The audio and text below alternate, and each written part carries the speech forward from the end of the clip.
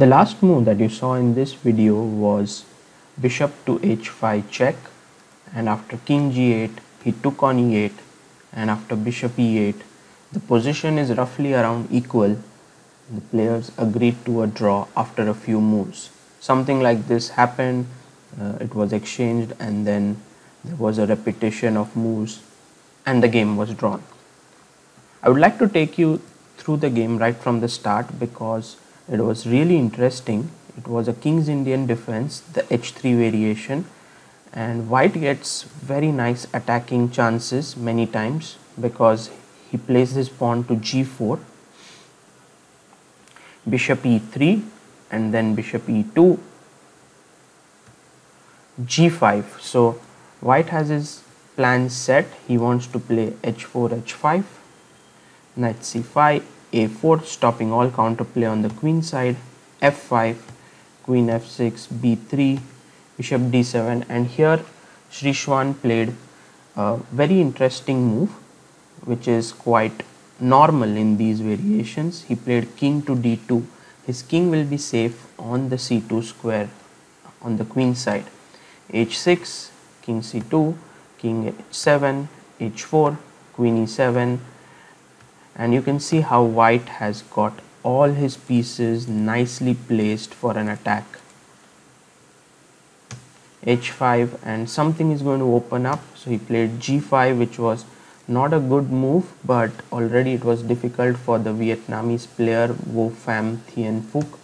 Bishop into g5 you can't take because knight into g5 is strong. So he played queen e8 and now Sreeshwan had seen it all. Takes takes knight g5 and here after rook e7 he played h6 and this was the pretty moment as you all saw in the video queen g7 check takes takes king g8 and now I would like you to pause this video and think for a couple of minutes as to what you would do. As you could see Sreeshwan had plenty of time on his clock so he could really find the win over here rook h8 yes this was the right move. And after king g8 Sreeshwan just took immediately on e8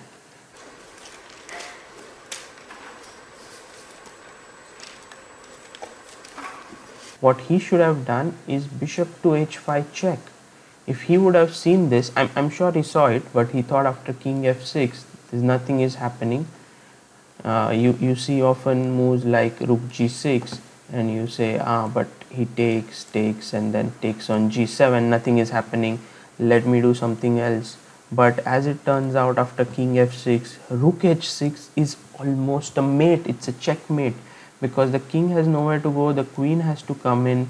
You can take with either of the rooks maybe with this rook. And after king f7 you make a queen. And friends this is all over.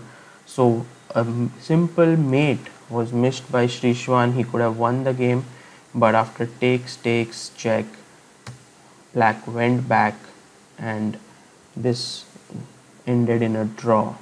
So one more example where it shows that you need to be very careful when you're winning a game